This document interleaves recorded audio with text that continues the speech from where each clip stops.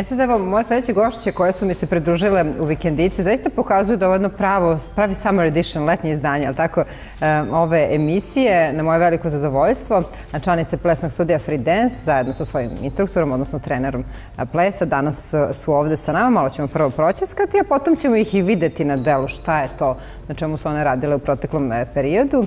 E, sa nama su danas, kao što rekao, Aleksandar Bečejski, trener u ovom plesnom studiju. Dobrodošli. Hvala, bolje vas. I sad da ne bismo svaku jednu devojčicu predstavili po osob, mada će nam neke od njih i kazati koju. Dobrodošli i vi, devojke. E, evo negdje, Aleksandar, da li počuje raspust, tako kraje e, i školske godine, da li ste i vi na raspustu ili kod vas i dalje radi i vežba i trenira i pleše pre svega? Mi imamo raspust, ali za kratko, pošto se spremamo ovaj, za svetski kup koji nam sledi u septembru a prošle nelje smo se vratili sa svetskog prvenstva. E, zato hoću da te pitam. Da, žao mi je što nisu devojke, e, tri devojčice u stvari koje su učestvovali na svetskom prvenstvu danas ovde sa nama, ali su opravdano sprečene. Dve su tako otputovale, a jedna nam je nažalost razbolala se. Da, da. Ali hajde da ih pomenemo, zaslužile su. Naravno, njihova imena su Staša Aleksić, Ana Dursun i Anđela Laketić. Znači, njih tri su predstavljale pre svega Srbiju, pa onda i naš klub na svetskom prvenstvu u Češkoj, koje se održavalo prošle nedelje. I ostvarile su rezultate prosto koje su stvarno ogromni za nas, pre svega jer je njihovo svetsko prvenstvo gde su stajale na podijumu sa svetski poznatim pre svega plesačima koji imaju, ne znam, svoje dizajnere, svoje znači svetski najbolji trenere, e, prosto uslove u kojima rade, kako se zove, koji su stvarno neuporedivi prosto sa našim. I mislim da smo pokazali u stvari da je nama zaista mesto tamo i da prosto nismo, kako bih rekao, žargonski za džabe otišli tamo. Sve tri devojčice su prošle prvi krug, što je stvarno značajan uspeh u broju plesača od 100 do 140 u kategoriji proći ovaj prvi krug mislim da je zaista, zaista ogroman rezultat.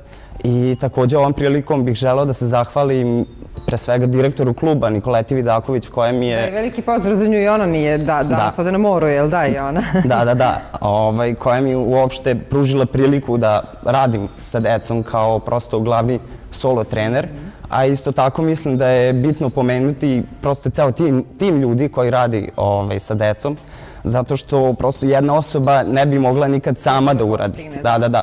Tako da ova deca imaju po 4-5 trenera koji učestvuju prosto u njihovom razvoju i napretku, a to su također Nevena, Nevena Stojkov, Aleksandra Belić, Dubravka Demić-Ivanović i Aleksandra Vujinović.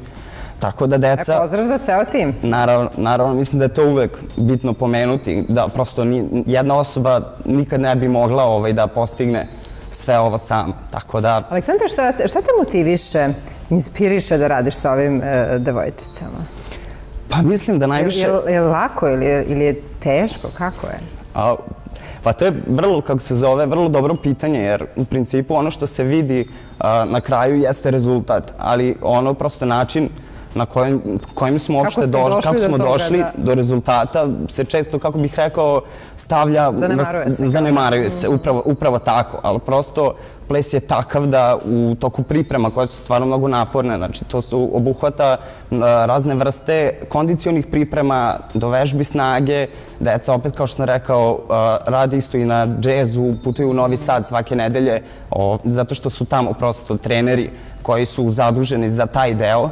Znači, mnogo suza, mnogo prosto svega. Kako znači, kažu, svega. suze iz noja, ali tako proliju se dok se dođe do rezultata? Ali definitivno sve to isplati na kraju i ono što mene zapravo najviše inspiriše, recimo, je otprilike njihovo hvala i njihovo zagrlja i posle nastupa na nekom, recimo, bitnom takmičenju. Iako ne deluješ tako, ali znaš da budeš nekad strog? Zato. E, to mislim da treba... To bolje njih da pitam, da. To bolje njih da pitate, da. Ajde da čujemo kod kojih devojčica mikrofon, kod vas dve, je li tako? Kako se zovete? Prvo predstavite nam se. Ja sam Milica. I ja sam Milica. Obe ste Milice, dobro. E, kako se vama čini ovako e, ples u vašem klubu? Kakav je Aleksandar kao trener? Pa, super trener. Ponekad zbog kamera kažeš ili zaista? Ne, ponekad ume da bude stroga, ali uglavnom je dobar. Je li ima da liče na vas? Liče na vas? Pa nekad. Kad niste dobro, kad ne slušate dobro? Pa Slož, slažila bi se sa njom. A daj recite mi nešto malo više o sebi, koliko ste dugo u klubu, koliko dugo plešite, gde ste sve nastupale, ste se takmičile? negdje? Meni je ovo de, deveta godina kako Aha, treniram. imaš već lep staž, dobro. Da. I Jel imaš medalje, neke uspehe iza sebe? Imam mnogo medalja i ja sam trenirala trenirala dugo i posle se odlučila za jedan drugi sport, ali sam se ipak vratila, Vratila, za, jel? za ples, zato što nigde, nigde nisam našla tako društvo kao ovde. Koji ples e, je u pitanju? E, disco dance. Disco dance, dobro. A ti?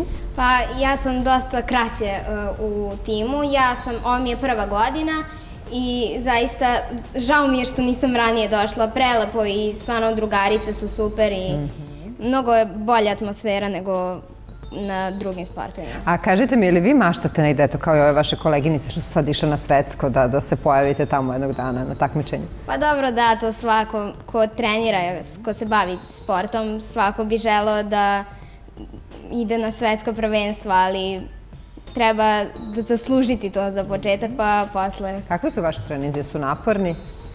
Pa nisu laki, mislim, ne možemo da kažemo su laki, ali isplati se. Izvate se, Da. uživate posle.